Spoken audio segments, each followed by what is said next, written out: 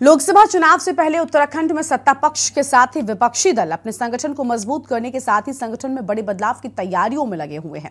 एक तरफ़ जहाँ कांग्रेस में प्रभारी बदलने समेत संगठन में बड़े बदलाव के आसार हैं तो वहीं दूसरी ओर उत्तराखंड क्रांति दल में नए नेतृत्व की कवायद चल रही है। इसके लिए पार्टी का अधिवेशन भी 24 से 25 जुलाई को होने जा रहा है। माना जा रहा है कि अधिवेशन में नए नेतृत्व पर मोहर लगेगी। तो वहीं सत्ताधारी दल बीजेपी दायित्वों के बंटवारे के साथ ही कैबिनेट विस्तार पर कार्य कर रही है। मुख्यमंत्री पुष्कर सिंह धामी ने खुद कहा है कि कैबिनेट विस्तार को लेकर हाईकमान में मंथन चल रहा है। अब सवाल यह है कि क्या लोकसभा चुनाव से पहले बीजेपी दायित्वों के बंटवारों के साथ ही कैबिनेट का विस्तार कर पाएगी? आज इसी मुद्दे पर होगी विस्तार से बातचीत, लेकिन उससे पहले एक नज़र आज की स्पेशल रिपोर्ट पर।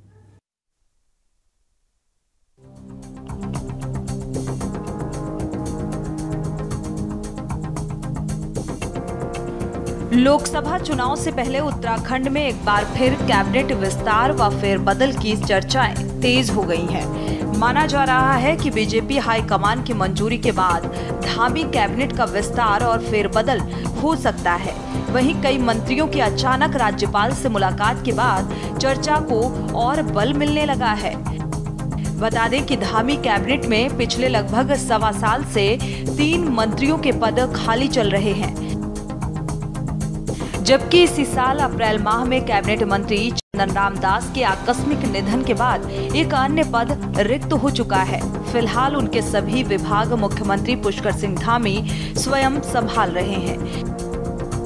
कैबिनेट विस्तार का समय जैसे जैसे लंबा खिंच रहा है तो बीजेपी विधायकों की बेचैनी बढ़ती जा रही है। कई विधायक मंत्री पद के लिए लाइन में भी लगे हैं। पार्टी नेतृत्व को तय करना है। और हर चीज़ की टाइमलाइन होती है। जब उचित समय आएगा तो संगठन निर्णय भी लेगा और जहाँ तक मेरा प्रश्न है तो हमें तो काम ही करना है। मुझे किसी भी रूप में संगठन मुझसे काम ले, और वर्तमान में भी काम तो कर ही रहे हैं।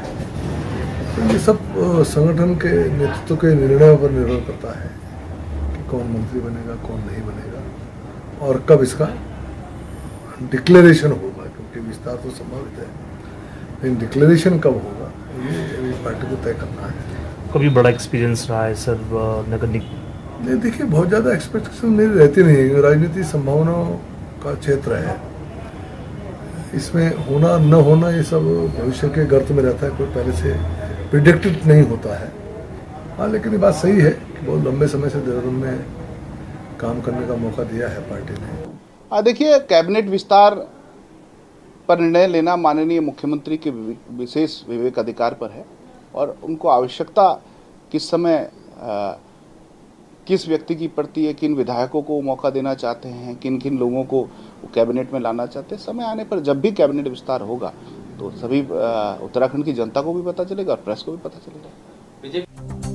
एक तरफ़ जहाँ सत्ताधारी दल यानी कि बीजेपी दायित्वों के बंटवारे के साथ ही कैबिनेट विस्तार की तैयारियों में लगी हुई है तो वहीं दूसरी ओर, कांग्रेस में प्रभारी बदलने समेत संगठन में बड़े बदलाव के आसार हैं। और इतना ही नहीं, उत्तराखंड क्रांति दल में भी नए नेतृत्व की कवायद चल रही है।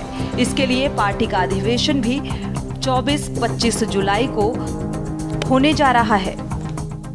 थोथा चना बाजे घना कहते हैं, क्योंकि ना तो करण मेहरा ने हटाना है, ना किसी अन्य विधायक ने हटाना है।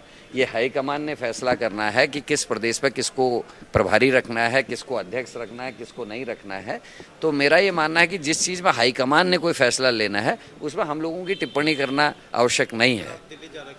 नहीं, दिल्ली तो मैं हर दूसरे महीने जाता हूँ और ये एक स्वाभाविक प्रक्रिया है अपने नेताओं से मिलना, अपने प्रभारी से मिलना, प्रदेश के विशेष जो मुद्दे हैं, जैसे इस समय जो घटनाएँ घटी हैं, उन विषयों पर चर्चा करना, केदारनाथ में सोने का जो मामला है, इधर जो मारपीट के मामले हुए हैं, अन्य जो घटनाएँ हुई हैं, उन विषयों पर चर्चा विमर्श करने की मेरी ज़िम्मेदारी है और मैं अपने शीर्ष नेतृत्व के समय इन विषयों में बात करता हूँ, इसी अभी तक उत्तराखंड के अंदर में चुनाव नहीं हुए हैं। सर्वसम्मति से नया अध्यक्ष बना है। लेकिन अभी भी हम कोशिश करेंगे सर्वसम्मति से हो जाए। लेकिन हमने इसके साथ ही साथ चुनाव की भी तैयारी कर रखी है। अगर सर्वसम्मति नहीं बनी और किसी कारण से चुनाव की नौबत आएगी तो चुनाव भी कराए जा सकते हैं। कुल मिलाकर धामी कैबिनेट के विस्तार और फेरबदल की खबरों से ही नेताओं की हलचल बढ़ गई है। धामी कैबिनेट से तीन मंत्रियों की छुट्टी की चर्चाएँ भी फिर से शुरू हो गई हैं। माना जा रहा है कि जिन मंत्रियों की परफॉर्मेंस सही नहीं होगी, उस मंत्री की छुट्टी होगी। वहीं दो दिन पहले राज्यपाल गुरमीत सिंह और मुख्यमंत्री पुष्कर धामी के बीच शिष्टाचार मुलाकात के बाद मंगलवार को कैबिनेट मंत्री सतपाल महाराज और सुबोध उनियाल ने भी राज्यपाल से भेंट की है और इससे कयासबाजी बढ़ने लगी है। देखना होगा सीएम धामी अपनी कैबिनेट में क्या कुछ बदलाव करते हैं और क्या अन्य दलों में हो रहा बदलाव कोई सकारात्मक परिणाम उनकी पार्टी के लिए ला पाएगा या नहीं, इस पर भी सबकी निगाहें बनी रहेंगी। Uttarakhand desk report.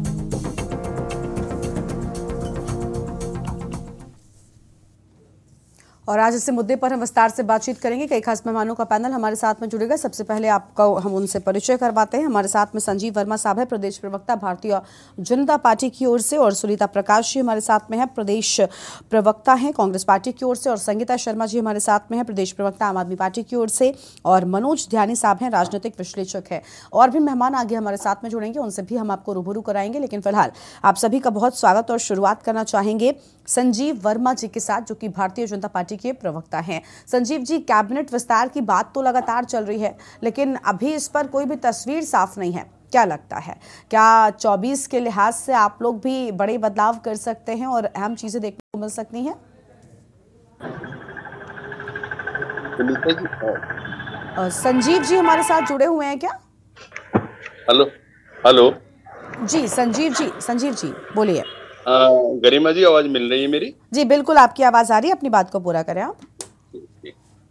गरिमा जी देखिए जिस तरह से भारतीय जनता पार्टी का महासं जनसंपर्क अभियान चल रहा है और इस समय हम अपने महाजनसंपर्क अभियान के अंतिम चरण में हैं जिसमें घर घर जाकर हम लोग प्रत्येक परिवार से संपर्क संपर्क कर रहे हैं और उनसे मिस कॉल के माध्यम से पार्टी से जुड़ने का हम लोग आग्रह कर रहे हैं।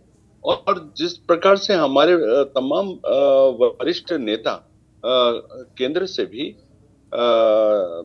इस कार्य इस कार्यक्रम में लगातार जुड़े हुए हैं और चाहे लोकसभा से लेकर विधानसभा तक और प्रत्येक ज़िले से लेकर मंडल तक और बूथ तक हम लोग और हमारे जितने भी कार्यकर्ता है पूरी तरह से एक माह से सक्रिय हैं। हम्म। और पार्टी को एक बहुत एक सकारात्मक रिस्पांस मिल रहा है। तमाम जनता माननीय मोदी जी के कार्यों से पूरी अभिभूत है माननीय मुख्यमंत्री जी के।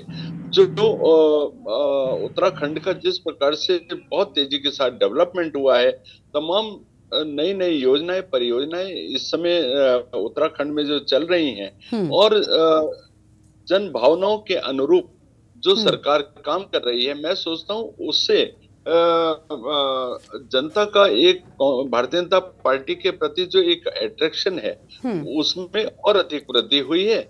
जहाँ तक हम्म। भारतीय जनता पार्टी की हम बात करते हैं भारतीय जनता पार्टी लगातार काम कर रही है। 2024 को एक केंद्रित करते हुए हम लोग जन जनता के बीच जा रहे हैं। वहीं यदि हम विपक्ष को देखते हैं कांग्रेस पार्टी को देखते हैं और अन्य दल आम आदमी पार्टी हुई यूकेडी पार्टी हुई तो इनके अंदर जो अपनी उठा पटक हुआ पोक की स्थिति है ये इनके यहाँ अपने प्रभारी को बदलने की कभी कवायद चल जाती है।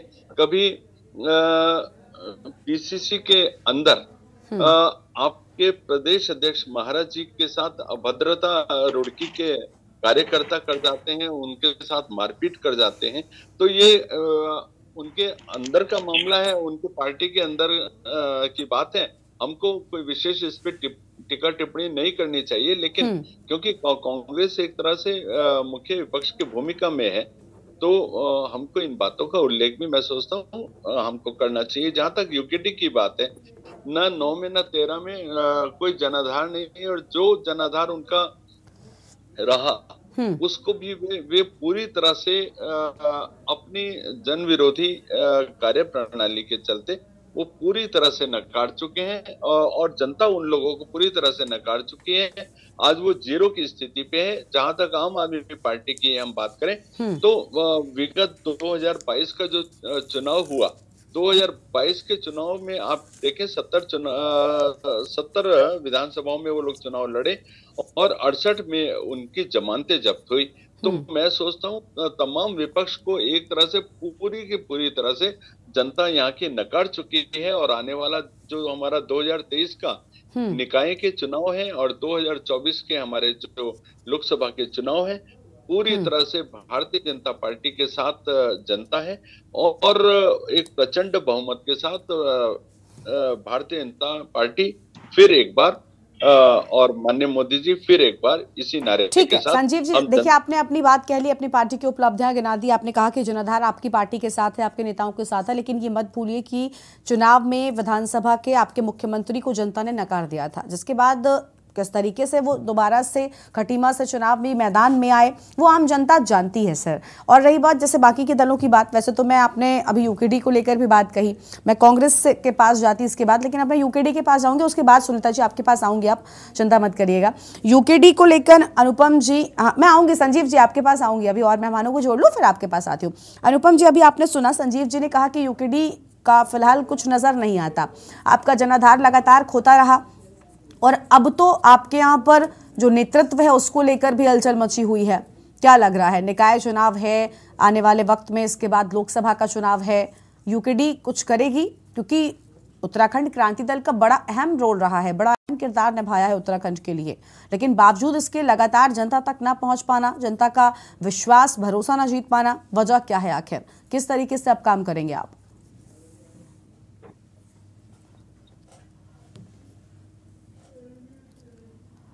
अनुपम जी अनम्यूट करें आपकी आवाज़ नहीं आ रही है। जी क्षमा चाहूँगा अब आ रही होगी? जी बोलिए। उत्तराखंड क्रांति दल एक ऐसा दल है जो जनक है उत्तराखंड का। आपको संजीव भाई साहब हमारे जो हैं भाजपा से हैं भाजपा एक सनातनी पार्टी है जैसा ये लोग कहते हैं। तो उसी सनातनी एग्ज़ाम्पल को देता हूँ। हम्म। जो पिता होता है उसके कंधे पे बच्चे नहीं होते उसके सर पे होते हैं। जैसे कृष्ण को जब लेके चले थे जेल से तब पिता नहीं दिख रहा था। लेकिन उस बहुत भयंकर तूफ़ान के ऊपर जो टोकरी थी वो बेटे की थी। हाँ। अब बेटे जब बड़े होते हैं तो ननायक भी निकल जाते हैं। हम्म। उत्तराखंड क्रांति दल तो जनक है उत्तराखंड का। हम्म। वो हमेशा तीन और तेरह क्या वो तीस और साठ पे भी है। सर फिर जनता का प्यार आपको क्यों नहीं मिलता? ये- ये- आप आपको जनता का साथ क्यों नहीं मिलता? जबकि चुनावों में तो हर बार लगभग आप आते हैं लेकिन बावजूद इसके जनता का साथ मिलने में स्वीकार कर लिया कि ये नालायक इसमें कोई बात नहीं। आप आपके टर्न आने पे बात कीजिएगा। हाँ सर प्लीज़ बहुत शांति से संजीव जी प्लीज़ संजीव जी मैं मैं आऊँगी आपके पास आपको जो कहना है आप कह सकते हैं। पहले ऐसे सबकी आवाज़ देखिए जिस जिस चश्मे से भाजपा इस समय अपने आप को देखती है वो ये शायद भूल गई कि उसे कितना लंबा अरसा लगा इस जन बहुमत को पाने का। हम्म। जन जनता के बहुमत को पाने में इनकी शताब्दियाँ दशक निकले हैं। एक दशक नहीं कई दशक। हम्म। तब जाके आज भाजपा ये कहती है कि हम लीडरशिप पे हैं। हम्म। जनता ने स्वीकार किया क्योंकि जनता ने ये माना कि दूसरी पार्टी भ्रष्टाचार कर रही थी। हम्म।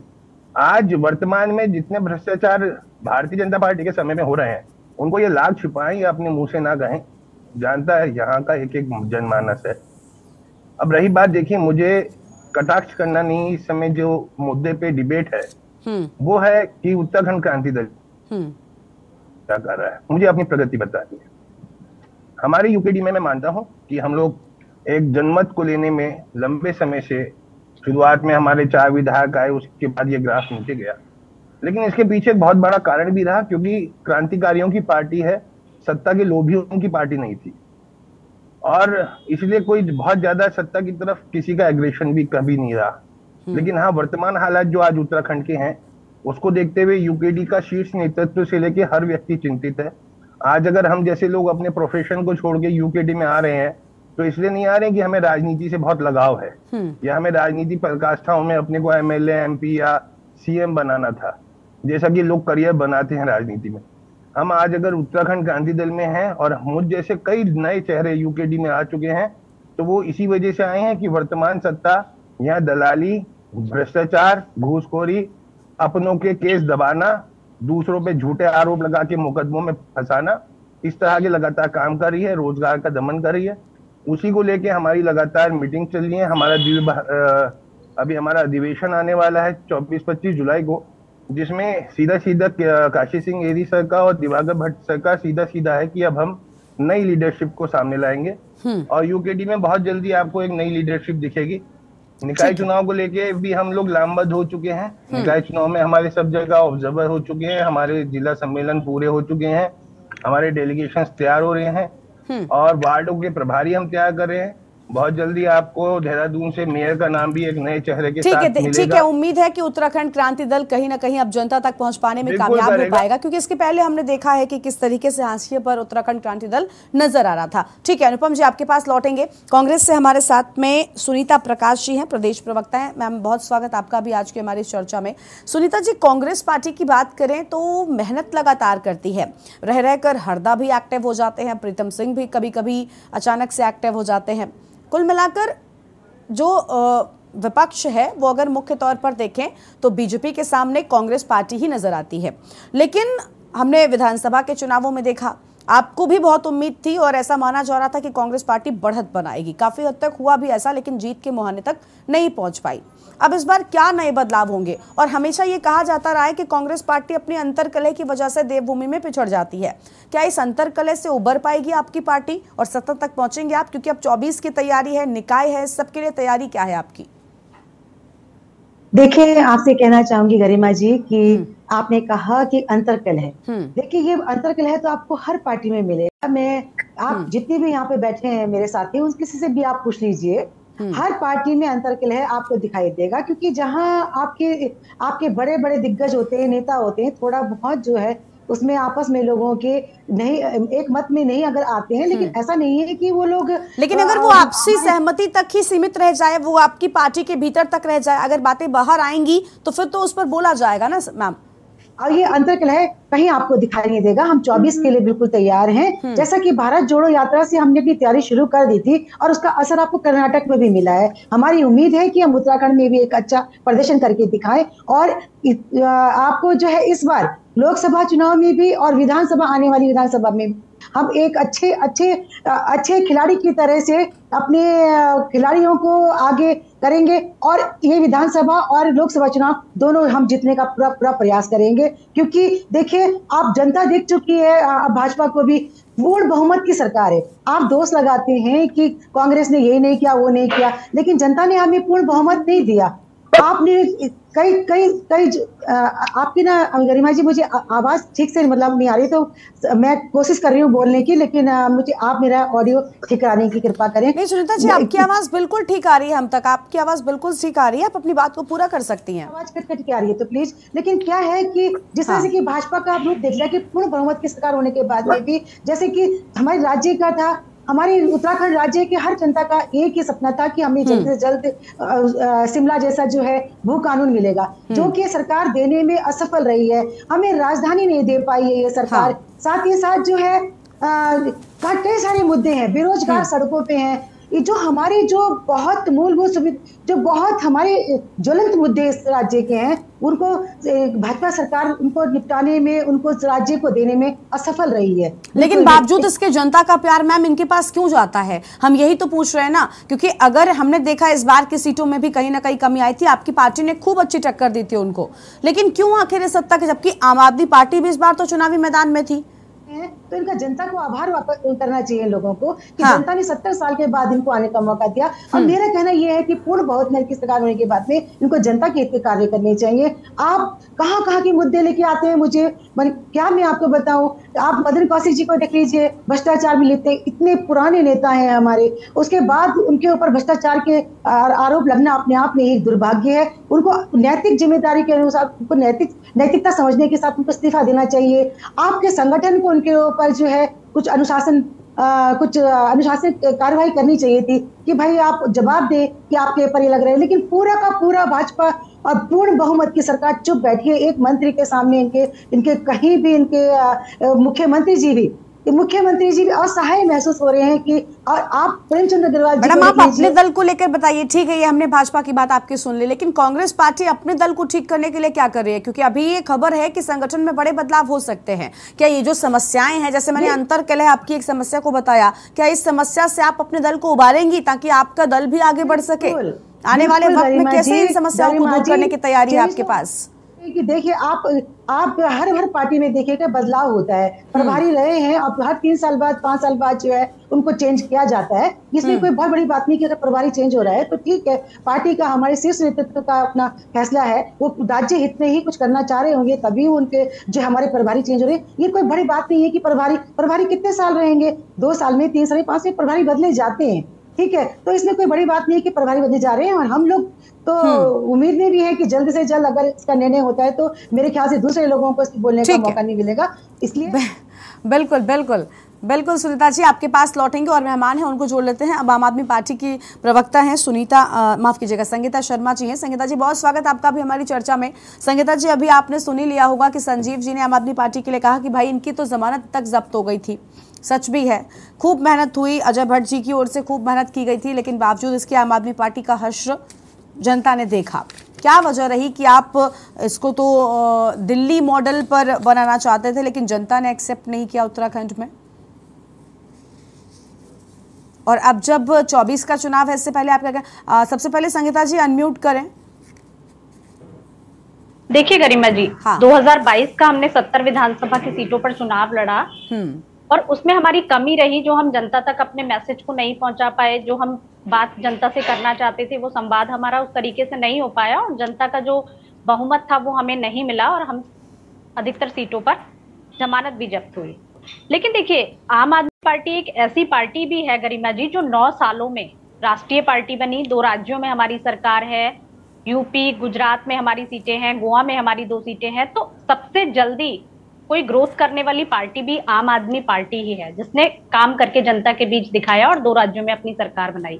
चाहे बीजेपी हो उसको एक लंबा समय लगा गरिमा जी यहाँ तक पहुँचने के लिए। हम्म। और देखिए जिस तरह से बीजेपी पर उसके संगठन पर जनता ने भरोसा किया चाहे देश में भरोसा किया या उत्तराखंड में भरोसा किया गरीब हाँ। और बहुत प्यार दे करके इनकी सरकार बनाई। हम्म। बहुत ज़्यादा बहुमत के साथ इनकी सरकार बनाई कि उत्तराखंड में एक पूर्ण बहुमत की सरकार आएगी एक डबल इंजन की सरकार आएगी तो बहुत कुछ विकास देखने को उत्तराखंड को मिलेगा। इस चीज़ से उत्तराखंड जूझ रहा था कांग्रेस बीजेपी कांग्रेस बीजेपी। लेकिन इस बार ऐसा हुआ कि दोबारा बीजेपी की सरकार को लेकर के यहाँ के लोग आए। लेकिन उनको आखिर मिला क्या गरिमा जी? ये सोचने का बहुत बड़ा विषय है। आम आदमी पार्टी को उन्होंने प्यार नहीं दिया कांग्रेस को उन्होंने प्यार नहीं दिया लेकिन आपको भर भर के प्यार दिया। लेकिन उस प्यार के बदले आपने उनको क्या दिया? बेरोजगार युवाओं पर लाठीचार्ज उनको मिला प्रेमचंद्र अग्रवाल जी रास्ते में लोगों को पीटते हुए मिले अंकिता भंडारी जैसा हत्याकांड हुआ। तो ये सब पूर्ण बहुमत की सरकार ने आखिर उत्तराखंड को क्या दिया? एक राजधानी नहीं मिली भू कानून नहीं मिला लगातार पहली सरकार में भी मुख्यमंत्री बदलते रहे मुख्यमंत्रियों की प्रयोगशाला रहा। आज भी जो गाँव है जो पहाड़ी क्षेत्र है हमारे वहाँ आज भी बिजली पानी की समस्या है। ठीक है ठीक है लेकिन लेकिन संगीता जी सबसे बड़ी बात ये ना ठीक है ये सारी समस्याएँ ये सारे आरोप आप राजनीतिक दल होने के नाते संजीव जी पर लगा सकती हैं। लेकिन सबसे बड़ी बात ये ना कि जब चुनाव हुआ था उस दौरान हमने देखा था कि आपको भी जनता का प्यार नहीं मिला। अब उसको सुधारने के लिए आप अपने दल में क्या कुछ बदलाव करेंगे इस पर हम आपसे जवाब लेंगे। अब चौबीस के चुनाव के लिए क्या बदलाव संगठनों में देखने को मिलेंगे? संगीता जी हमारे साथ पर लगातार बनी हुई थी उनसे ही हम जवाब ले रहे थे। संगीता जी ब्रेक के पहले आपकी बात अधूरी रह गई थी। देखिए आपने गिना दिया कि किन चीज़ों पर कमी थी क्या कुछ इन्होंने जनता को नहीं दिया। लेकिन कुछ भी हो, इस बार उन्होंने रिकॉर्ड्स तोड़ दिए थे। हर बार बीजेपी, कांग्रेस कांग्रेस बीजेपी इस तरीके से चलता था, लेकिन उत्तराखंड में इन्होंने रिपीट किया, जो रिकॉर्ड तोड़ने के बराबर था। आपका भी दल इस बार चुनाव में था। अगर करता अच्छा तो कहीं ना कहीं मुश्किलें सीधे तौर पर बीजेपी की खड़ी होती। लेकिन आप ये बताइए, जैसे चुनाव हुआ था उसके ठीक बाद अजय भट्ट ने इस्तीफा दे दिया था। अब क्या आम आदमी पार्टी आने वाले चुनाव को ध्यान में रखते हुए इनके लिहाज से अपने संगठन में बड़े बदलाव करेगी ताकि आने वाले चुनाव में आम आदमी पार्टी मजबूती के साथ उतर सके? देखिए गरिमा जी जो प्रभारी थे उत्तराखंड आम आदमी पार्टी में उनको बदल दिया गया है। नए प्रभारी उत्तराखंड को मिल चुके हैं नए प्रभारी नए मिल चुके हैं और संगठन का जो निर्माण है वो नए सिरे से कवायद शुरू हो गई है। हम्म। सभी चीज़ों पर काम हो रहा है और बहुत जल्द सबके सामने भी होगा। और देखिए जो मैंने कहा कि हमारी कमियाँ थी हम जनता तक नहीं पहुँचा पाए उसका खामियाजा हमने भुगता। हम्म। लेकिन जिसको प्यार दिया उन्होंने अब काम नहीं किया तो उसका खामियाजा आने वाले समय में गरिमा जी उनको भी भुगतना पड़ेगा। क्योंकि जो जब जनता किसी पर भरोसा जताती है कुछ उम्मीद रखती है और वो पूरी नहीं होती तो वो दूसरी पार्टी की आपकी तैयारी। क्या है संगीता जी? आपकी तैयारी क्या है आने वाले वक्त तो में जो चुनावी जंग होगी उसके लिए? देखिए जनता हाँ। हमारा संगठन उतना बड़ा आज देश में नहीं है जितना बीजेपी का है क्योंकि हम नौ साल की पार्टी हैं फिर भी हाँ। हमने जिस तरीके से काम किया क्योंकि हाँ। जनता हमारी ताकत है गरिमा जी हम्म। जो काम हमने दिल्ली में किया या जो अभी सवा साल में हमने पंजाब में काम करके दिखाया है हम्म। उस काम को जब हम जनता के बीच पहुंचाएँगे उस काम को जनता के बीच बताएँगे तो जनता का भरोसा आम आदमी पार्टी को ज़रूर मिलेगा और जिस हम्म। तरह से एक दूसरी पार्टी ने उन्हें ठगने का काम किया है तो वो हमारे लिए विश्वास की ताकत बनेगा और जनता आम आदमी पार्टी पर ज़रूर भरोसा करेगी जिस तरह से हमने दिल्ली में चाहे वो महिलाओं के लिए काम हो चाहे वो शिक्षा में काम हो स्वास्थ्य में काम हो जो भी काम हम्म। हमने दिल्ली में किए हैं वो हमारा एक रोल मॉडल है उत्तराखंड में भी बताने के लिए कि हम उस तरीके से जब यहाँ आएँगे तो उस काम हम्म। को करेंगे हम घर घर तक उस काम को पहुँचाने का काम करेंगे गरिमा जी और पूरी ताकत के साथ चाहे वो 2024 का चुनाव हो या निकाय चुनाव हो उसको लड़ेंगे बिल्कुल साफ़ तौर पे। यानी तैयारी आपकी भी पार्टी की है लेकिन देखना होगा आप, आपकी पार्टी पर जो बदलाव होंगे उन पर जनता कितना यकीन कर पाती है भी बहुत बड़ी बात है। अब राजनीतिक विश्लेषक हमारे साथ में है मनोज ध्यानी जी सर बहुत स्वागत आपका भी। मनोज जी मैं सबसे आखिर में आपके पास आई सिर्फ़ इसी वजह से कि ताकि आप भी राजनीतिक दलों की क्या प्रतिक्रियाएँ आती हैं उनको सुन लें। उसके बाद अपनी टिप्पणी या जो भी प्रतिक्रिया देनी है वो दें। आपको क्या लग रहा है? उत्तराखंड में देखिए अभी चुनाव है निकाय का। ये चुनाव भी कहीं ना कहीं पुष्कर सिंह धामी के लिए बहुत बड़ा है। परीक्षा के तौर पर है। इसके बाद फिर लोकसभा का चुनाव है और लोकसभा में बीजेपी को बढ़त दिलाने के लिए लगातार पुष्कर सिंह धामी अभी से कवायदे तेज कर चुके हैं। आपको लग रहा है कि अब संगठनों में जो बड़े बदलाव होंगे इनका फ़ायदा होगा आने वाले चुनावों में? और किस लिहाज से किए जाएँगे? क्योंकि जैसे ही ये खबर आई बीजेपी में भी कि कैबिनेट विस्तार हो सकता है कई विधायकों की धड़कने बढ़ गई हैं। गरिमा जी जो राजनीति है वो दो चीज़ों पर चलती है। हाँ। और उस उन दो चीज़ों में पहला है कि मुद्दों पे आधारित परसेप्शन कि किस तरीके का परसेप्शन बन रहा है चुनाव का माहौल किस रूप और किस दिशा में आगे बढ़ेगा। और दूसरा उसके उस राजनीतिक माहौल में जो तरंगे उत्पन्न होती हैं उन तरंगों को समेटने की क्षमता किस संगठन के पास बेहतर होगी। हम्म। उत्तराखंड की अगर हम बात करें तो उत्तराखंड में परसेप्शन की राजनीति की अगर बात किया जाए तो इस समय एक बहुत बड़ी ज़ोर आजमाइश मैं देख रहा हूँ उत्तराखंड के भीतर चल रही है। हम्म। और इसके अंदर जो हमारे युवा प्रदेश के मुख्यमंत्री हैं उनकी पूरी कोशिश है कि एजेंडा को परसेप्शन को इस तरीके से क्रिएट किया जाए कि जिसमें उत्तराखंड हिंदुत्व का मॉडल नज़र आए। पूरे देश के भीतर। और जनता उस रूप में उसकी ओर बढ़े।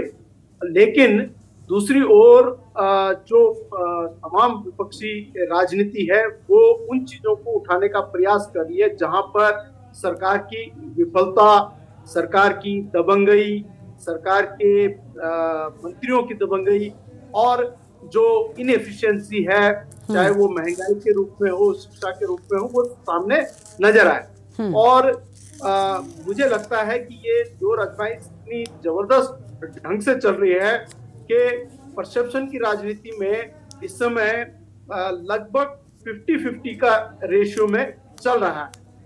सांगठनिक सांगठनिक ढांचा जो है बहुत मज़बूत होता है किसी चुनाव को जीने के जीतने के लिए और उसमें चुनावी राजनीति का प्रबंधन जो बूथ लेवल से प्रारंभ होता है प्रचारों तक चलता है चुनाव के अंतिम क्षण में वोट जिस दिन काउंट होते हैं और रिज़ल्ट निकलता है, वहाँ तक, बल्कि यूँ कहिए कि जो सर्टिफिकेट जीतने का जिला अधिकारियों के माध्यम से लिया जाता है, वहाँ तक वो खेल चलता रहता है। और उसके बाद सर, सरकार बनाने, बिगाड़ने के खेल में जो सूटकेस पॉलिटिक्स आती है, वो बहुत बड़ा महत्वपूर्ण रोल अदा करती है। आज लोकतंत्र में पारदर्शिता सुशासन के नाम पर चुनाव नहीं आ, हो रहे हैं और ना ही सरकारें बन रही सरकार ज़ोर तोड़ से बनी है। उत्तराखंड में भी आ, जो पाँच सितारा सात सितारा संस्कृति की मतलब विधायकों को ले जाने का वो हम लोगों ने देखा है। चार्टर्ड विमानों की फ्लाइटों में ले जाकर देखा है। तो ये सारी सारी चीज़ें आई हैं। उत्तराखंड के अंदर भीतर आ चुकी हैं। बिल्कुल। तो उत्तराखंड की राजनीति में जहाँ तक चुनावी राजनीति का बात है। उसमें वाइल्ड जो वाइल्ड मशीनरी और जो पैसे का खेल है उसमें भारतीय जनता पार्टी के पास बहुत बड़ा एज है ताकत है ये तो नज़र आता है। लेकिन मुझे लगता है कि जिस प्रकार से राष्ट्रीय राजनीतिक दल भारतीय राष्ट्रीय कांग्रेस ने अ, सीखा है और भारतीय जनता पार्टी से बड़ी तेज़ी से वो सीख भी रहे हैं जैसे कि आम आदमी पार्टी का एक बहुत बड़ा पक्ष रहा है सोशल मीडिया में। जैसे ट्विटर में सोशल मीडिया पे इंस्टाग्राम पे वो लगभग भारतीय जनता पार्टी के जो आईटी सेल को टक्कर दे पाती दे, देती रही है। ये कम से कम दिल्ली में नज़र आता रहा।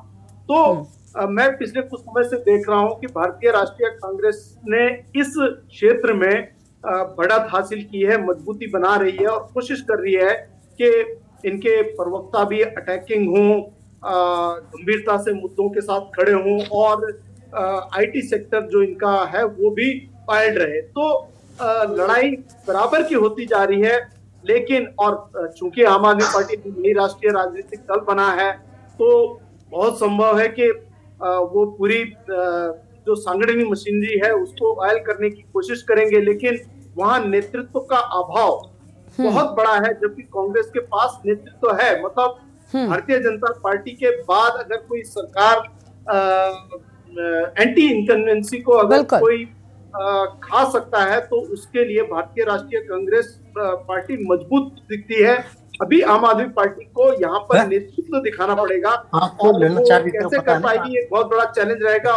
और सबसे बड़ी बात है उत्तराखंड क्रांति दल हो मेरा मानना है कि उत्तराखंड क्रांति दल को जो जमीनी मुद्दे हैं और उत्तराखंड के क्षेत्रीय मुद्दे हैं उन पर कंसंट्रेट करते हुए अपना फोकस सत्तर सीटों में न लगाते हुए कोशिश करनी चाहिए कि वो कम से कम पाँच से दस बारह सीटों तक किसी तरीके बिल्कुल, अभी तो उनके सामने जो अस्तित्व भी सरकार बने, लड़ाई है। भविष्य में बार्गेनिंग पोजीशन में आए ये उनकी कोशिश होनी चाहिए अगर वो ये ऐसा कर पाते हैं। हाँ बिल्कुल कहीं ना कहीं बिल्कुल कहीं ना कहीं देखिए अस्तित्व बचाना ही सबसे पहले उनके लिए बहुत ज़रूरी है क्योंकि जिस तरीके से हाशिए पर वो जा चुके हैं ये बहुत अहम है। उम्मीद ये थी कि इसके पहले आम आदमी पार्टी भी इस जगह को ले पाएगी निर्णायक भूमिका में आ पाएँगे क्योंकि अगर कुछ सीटें आ जाती हैं तो ऐसे में अहम भूमिका हो जाती है। लेकिन ऐसा हुआ नहीं। कांग्रेस और बीजेपी में सीधी टक्कर नज़र आई थी। संजीव जी कुछ कह रहे थे, जैसे अनुपम जी ने कुछ कहा था, मैं संजीव जी के पास ही जाऊँगी। संजीव जी, आपने सुना। देखिए, लोगों को ये शिकायत है कि आपने वादा किया था। आपने जनता को भरोसा दिलाया था, जिसके बाद जनता ने आप पर प्यार दिया, जनता ने आपको सिर आँखों पर बैठाया, लेकिन उसके बदले में आपने जनता को क्या दिया, ये बहुत अहम है। और लोग कह रहे हैं कि जनता निराश हुई है। अब आप क्या फेरबदल करेंगे? क्या इससे ही आने वाले चुनावों में जनता का साथ आपको एक बार फिर से मिलेगा। आपको लग रहा है कि क्या इतना काफ़ी होगा? गरिमा जी हाँ। देखिए डबल इंजन की हमारी सरकार है। हाँ। और मैं कांग्रेस की हमारी बहन बैठी हैं सुनीता जी। हम्म। मैं आपसे भी पूछना चाहूँगा कि आपकी भी अ, 2012 से 2014 तक आपकी भी सरकार रही डबल इंजन की तो आपने उत्तराखंड के लिए और यहाँ की बेहतरी के लिए क्या किया क्या बड़ी योजनाएँ परियोजनाएँ आप लेकर आई? और जहाँ तक बात भारतीय जनता पार्टी की है हमारी सरकार की है तो अ, अ, अ, मैं अपनी भी बताता हूँ आप यदि आपके पास भी ऐसी ज़्यादा नहीं कहता हूँ मैं मात्र पाँच ही ऐसी योजना परियोजना बता दीजिए यदि आपने सर पाँच कुछ ऐसी समस्याएँ हैं जैसे अभी संगीता जी ने बहुत सारी समस्याएँ गिनाई हैं चाहे वो कर्जे की समस्या हो चाहे वो स्मार्ट सिटी की समस्या हो जिसके काम लगातार जो है पिछड़ते आए हैं चाहे वो स्थायी राजधानी की समस्या हो चाहे वो पलायन की समस्या हो इन सब पर कुछ भी नहीं हुआ सर। चाहे बेरोजगारी की समस्या हो। पाँच नहीं मुझे लगता है पचास समस्याएँ मैं गिना सकती हूँ मैं कोई राजनीतिक दल नहीं हूँ आप मुझ पर चाहिएगा तो आरोप लगा दीजिएगा। आमतौर पर ऐसा होता है लेकिन ये समस्याएँ हैं जो आम जनमानस को उत्तराखंड में झेलनी पड़ती है। इस बात से आप भी वाकिफ होंगे। और इनका निदान नहीं हुआ। हाँ बोलिए। गरिमा जी मुझसे जवाब ले लीजिए हाँ बिल्कुल बिल्कुल। देखिए आपने राजधानी की बात करी तो ग्रीष्मकालीन राजधानी बनाने का काम भारतीय जनता पार्टी ने किया। ग्रीष्मकालीन राजधानी घोषणा भारतीय जनता पार्टी ने की। जहाँ तक पलन की बात है तो होम स्टे के माध्यम से सोलर पार्क के माध्यम से जैविक खेती के माध्यम से फल पट्टी के माध्यम से टूरिज़्म के माध्यम से जो तमाम स्वरोजगार देने की एक बड़ी कवायद हमारी सरकार के द्वारा की जा रही है जो मातृशक्ति को जो एनजीओ के लिए हम बड़ी मात्रा में हम लोग ऋण दे रहे हैं और 50 से लेकर 60 साठ अस्सी से प्रतिशत तक की उसमें सब्सिडी देने का हमारी सरकार ने काम किया है जहाँ हमारी सरकार ने किसानों को तीन लाख रुपए तक का ऋण ज़ीरो परसेंट पर देने का काम किया है जहाँ इंफ्रास्ट्रक्चर की 150 लाख करोड़ रुपए की योजनाएँ परियोजनाएँ आज से उत्तराखंड में गति हम्म।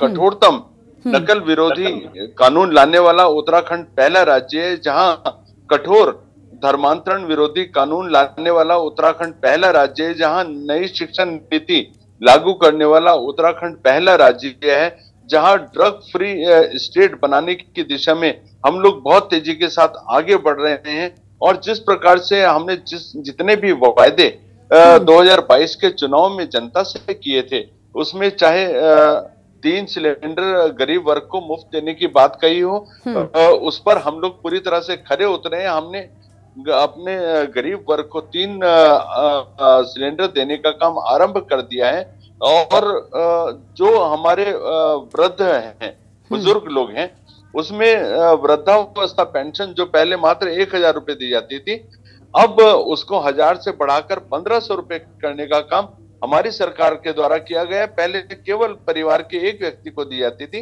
अब हमने पति और पत्नी दोनों को अ, अ, वृद्धावस्था पेंशन देने का काम किया जहाँ तक अटल आयुष्मान योजना की बात हो पूरा एक करोड़ पच्चीस लाख जितनी भी यहाँ की जनसंख्या उत्तराखंड की है तमाम वर्ग वो चाहे निचला स्तर हो मध्यम वर्ग हो चाहे उच्च वर्ग हो हर व्यक्ति अटल आयुष्मान योजना से आच्छादित है।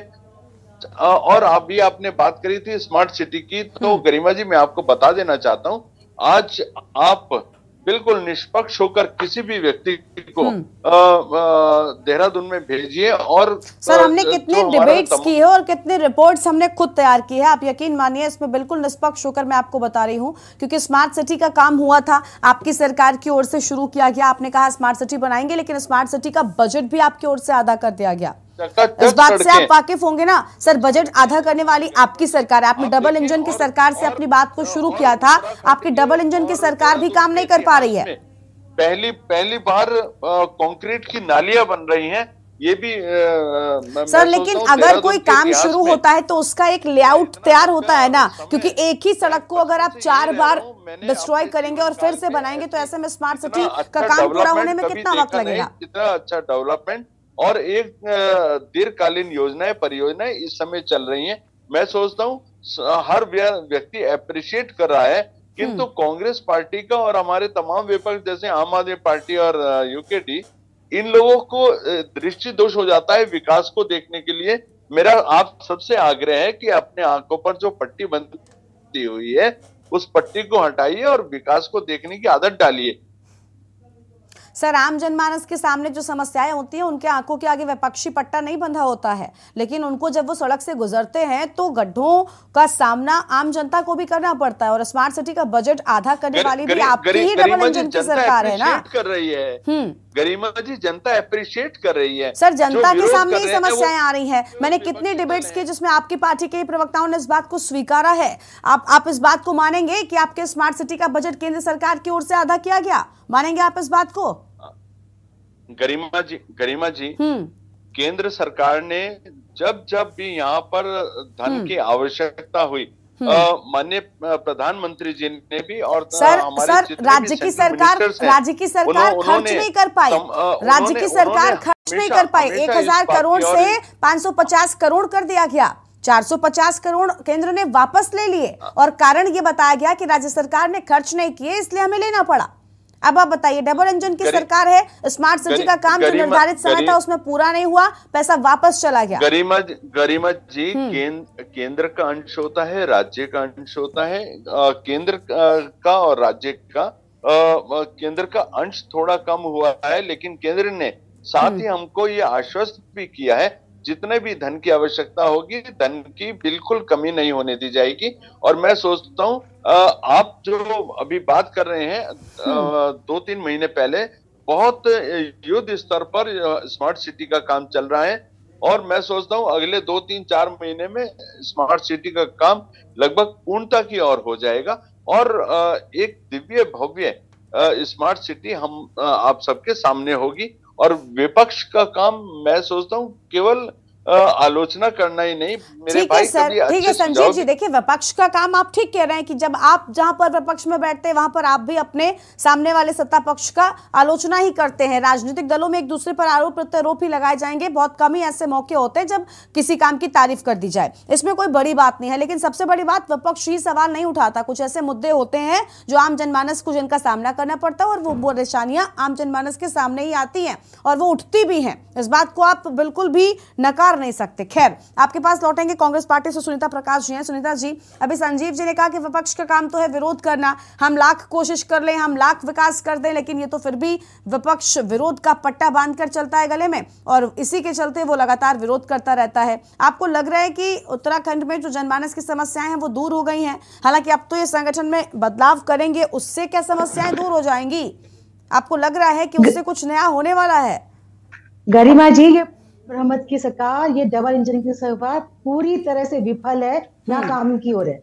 देखिए आप जो जो मेन मुद्दे इसको उत्तराखंड को चाहिए जो यहाँ की जनता को चाहिए भू कानून चाहिए आपको स्थायी राजधानी चाहिए आपको बेरोजगारों के लिए रोज़गार चाहिए स्वास्थ्य सुविधा दस साल सरकार रही आपने दिया क्या? आप क्या कर रहे हैं? आप हमें बिठा दीजिए संजीव जी। आपसे नहीं आप- हम आपकी करके दस साल दिखाएँगे सरकार आपको रही। आपकी आपको- दस साल सरकार रही आपने राजधानी दी क्या? आप भी दे सकते थे ना? आप आपने एक कदम भी उसमें आगे बढ़ाया क्या? आप बताइए तो आपने उसमें एक कदम संजीव भी जी, आगे बढ़ाया क्या? ठीक है संजीव जी उनको बोलने दीजिए। अगर दस साल सरकार उनकी थी तो आप भी तो हर बार सर संजीव जी संजीव जी उनको बोलने दीजिए देखिए वो बीच में नहीं बोली थी मैं आपके पास आऊँगी आप फिर से अपनी बात रख सकते हैं। और रही बात आपने कहा 10 साल आपकी सरकार थी। सर आपकी सरकार को भी अब दूसरा कार्यकाल शुरू हो चुका है ना आपने पहले कार्यकाल में जो वादे किए थे वो अब तक भी नहीं पूरे हुए तो कम से कम उन आरोपों को मढ़िए जो आप पर ना लगे हो ठीक है, आपके पास आएँगे। संजीव जी, अभी उनको बोलने दीजिए, उसके बाद आते हैं। हाँ, बोलिए। प्रदेश ये राज्य दो दो राजधानी का वहन खर्चा वहन करने की स्थिति में है हम्म। आपने सिर्फ़ राजधानी घोषित की है ग्रीष्मकालीन लेकिन न वहाँ पे अधिकारी है न वहाँ पे कर्मचारी है कभी कभी आप छुट्टियाँ मनाने चले जाते हैं वहाँ पे ये किस तरह का कितना इतना गरीब राज्य को आप कितना कर्ज के कर्ज कर्ज लेकर के इसको दबा देंगे राज्य को। और कुछ भी आप नहीं कर रहे हैं। जो आपने बोला कि आप जो है जितने भी आपने मुद्दे हैं, वो भी- सुनीता जी, सुनीता जी, आपका भी- उत्तराखंड के हित में कोई भी नहीं है। उत्तराखंड भू कानून मांग रहा है भू कानून दीजिए जी। आपके मंत्री जो है आपके आपके मदन कौशिक जी भ्रष्टाचार के भ्रष्टाचार के मामले उनके ऊपर आरोप लग रहे हैं। भू आपका लोकायुक्त कहाँ है? अगर लोकायुक्त होता तो ठीक है ठीक है ठीक है आप सवाल कर लीजिए सत्ता पक्ष से लेकिन सवाल मेरे भी हैं कुछ जो जनता की ओर से आए हैं वो ये है कि देखिए अभी संजीव जी ने कहा मैंने उनको भी बोला कि देखिए उनको उनके पास भी वक्त है क्योंकि उत्तराखंड के साथ ये समस्या हो गई है। वो आते हैं अपने पहले वाले पर आरोप मरते हैं। आप आती हैं आप कहती हैं इन्होंने क्यों नहीं किया? वो कहते हैं उन्होंने क्यों नहीं किया? क्या आम जनता इसी के बीच पिसती रहेगी? आपको भी जनता ने जी, मौका दिया था सत्ता बहुमत की में बैठाया था। क्या आप नहीं दे सकते थे? आपने विधान भवन बनाकर यूँ ही खड़ा कर दिया। वो बिल्डिंग बनकर तैयार हो गई। हाँ? इनको दिक्कत है। पूर्ण बहुमत की सरकार है? डबल हम्म। इंजन की सरकार है? इनको कहाँ से कोई कहाँ गरीब- मैम, सरकार आपकी भी जी- थी ना? मैम, सर- गरिमा आपका जी नहीं, नहीं, 2012 से बहुमत की 2014 तक हाँ हाँ मैं पूछ रही हूँ संजीव जी मैं उनसे पूछ रही हूँ। सुनीता जी सुनीता जी जनता ने मौका आपको भी दिया है। एक बार ये बात अगर आम आदमी पार्टी के लोग कहें यूकेडी के लोग कहें तो जायज़ है। आपको भी तो जनता ने सत्ता में बैठाया था तब आप क्या कर रही थी? आपने क्यों इन समस्याओं को दूर नहीं किया? स्थायी राजधानी का मुद्दा आपकी सरकार में भी बहुत ज़ोर से उठता था। आपको जो है बहुमत सरकार दी आपको डबल इंजन की सरकार दी सुनीता जी सुनीता जी सुनिए मेरी बात सुनिए पहले। सुनीता जी मेरी बात को सुनिए।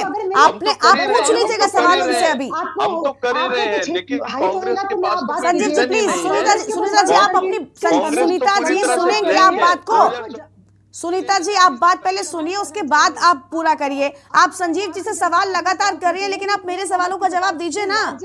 इस राज्य ने बहुमत दिया है आपको। गरी- आप जी- सुनीता जी को गरिमा म्यूट जी, करिए वो सुन नहीं रही है वो सिर्फ़ अपनी बात कह रही है। प्लीज़ ठीक है संजीव जी सुनीता जी सुनने को तैयार नहीं है वो अपनी बात कह रही है।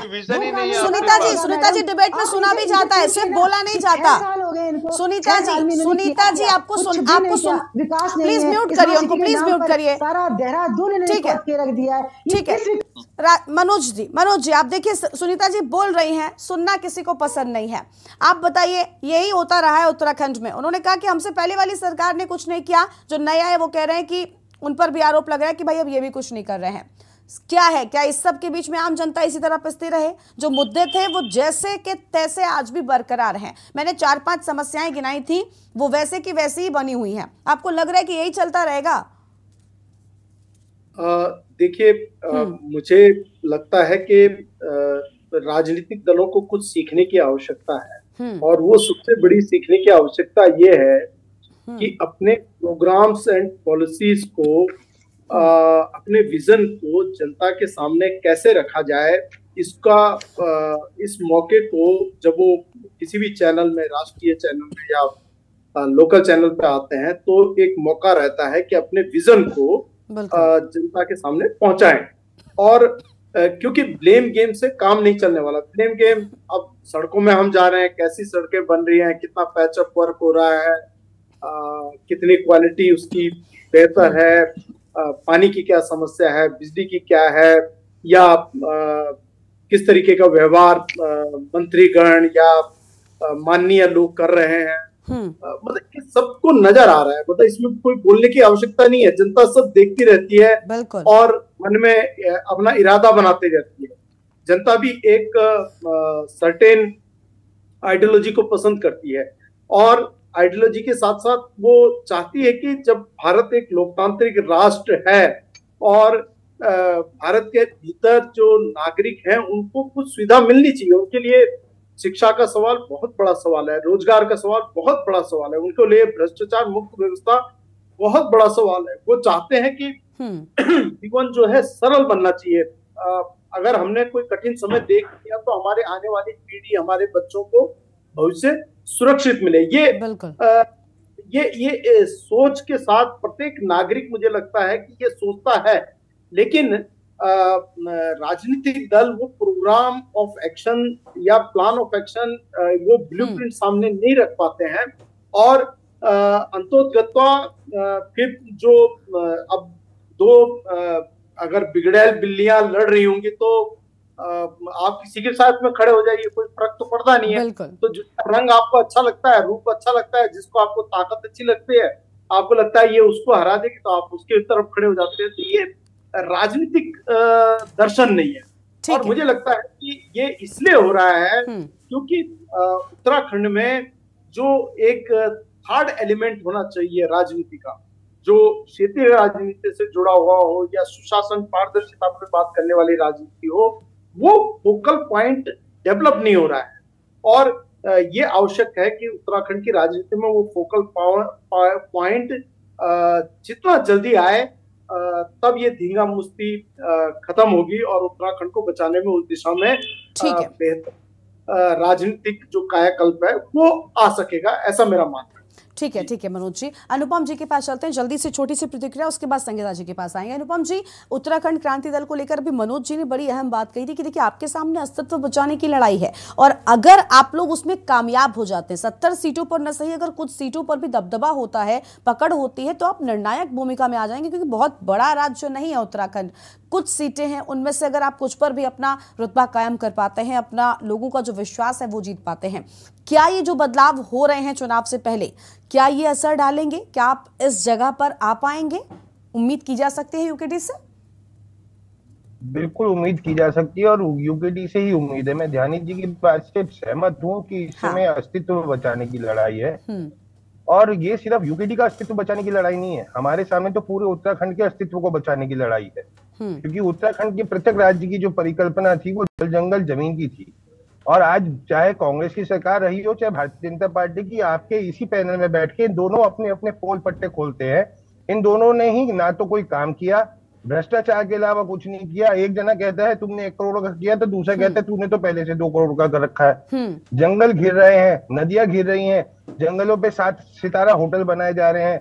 हमारे स्थानीय लड़कों के रोज़गार दमन किए जा रहे हैं। हम्म। और जो राजधानी की पहले दिन से बात थी कि गैंड सैंड होगी हम्म। उसके बावजूद उसको पूरा ना करके सिर्फ़ लॉलीपॉप दिया गया है ग्रीष्मकालीन के नाम से और प्रेमचंद ने अपने बहत्तर लोग डाल दिए पैसे खा के वहाँ पे विधानसभा के कर्मचारी बना के यहाँ देहरादून में ये लोग विधानसभा का निर्माण करवा रहे हैं क्यों जब गैंड सैंड आप जनता की बात को चाहते हैं जनता को आप सर्वोपरि मानते है। दोनों के दोनों दल मेरे को पूरा होने दीजिए। हाँ, जल्दी कांग्रेस से, वक्त बहुत कम दोनों ये कहती है हाँ। कि हम जनता को अपना शीर्ष मानते हैं तो जब इस उत्तराखंड की जनता की चाह है हम्म। राजधानी गैंडसैंड हो जब इस उत्तराखंड की जनता की चाह या भू कानून हो तो ये क्यों भू कानून को खुर्द बुर्द करते हैं लगातार?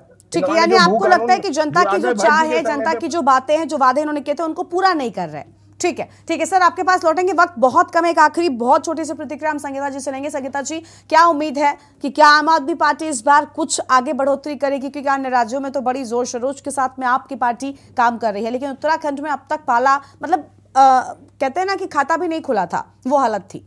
तो उम्मीद है कि जो बदलाव आप करेंगी जो आने वाला चुनाव है इसमें कुछ नया होगा आम आदमी पार्टी की ओर से? जल्दी से बहुत छोटी सी प्रतिक्रिया। बिल्कुल गरीबा जी कुछ नया हाँ। होगा क्योंकि जनता ने पहले दिल्ली का पाँच साल का काम देखा उसके बाद दूसरे कार्यकाल का काम देख रही है और हम्म। एमसीडी चुनाव भी हमने जिस तरीके से जीता और गुजरात में भी जनता ने हम पर भरोसा जताया तो उस भरोसे से जनता का भरोसा उत्तराखंड में भी हम पर बना है कि हम जो कहते हैं उस काम को करते हैं हम्म और हमने वो जनता के लिए किया है चाहे वो छोटी छोटी समस्याएँ हो जनता की बिजली से जुड़े मुद्दे हो पानी से जुड़े मुद्दे हो महिला सुरक्षा से जुड़े मुद्दे हो हम्म। महिला शिक्षा को लेकर के मुद्दे हो तो उन कामों को लेकर के जब हम जनता के बीच जाएँगे तो जनता उत्तराखंड की जनता आम आदमी पार्टी पर भरोसा जताएगी और आने वाला समय आम आदमी पार्टी का। ठीक है बहुत शुक्रिया आप सभी मेहमानों का अपनी बात यहाँ पर रखने के लिए और हमारे साथ चर्चा करने के लिए। बहुत शुक्रिया आप सभी का। तो देखिए आज देवभूमि के दंगल में हम विस्तार से बात कर रहे थे कि आखिर आने वाले चुनावों से पहले जो बदलाव होने जा रहे हैं क्या ये आने वाले चुनाव में बड़ा असर डालेंगे? क्योंकि बीजेपी की ओर से जहाँ कैबिनेट विस्तार की बात आई, जिसके ठीक बाद विधायकों की धड़कने बढ़ गई है। अब देखना होगा कि भला ये बदलाव कितना असरदार होगा। देवभूमि के दंगल में आज उतना ही। आप देखते रहे के न्यूज़ इंडिया। नमस्कार।